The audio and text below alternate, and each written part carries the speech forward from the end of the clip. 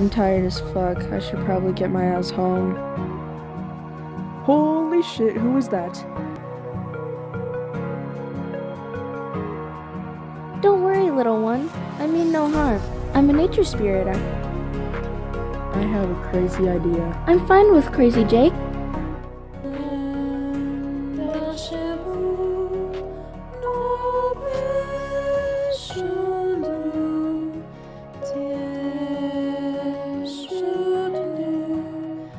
you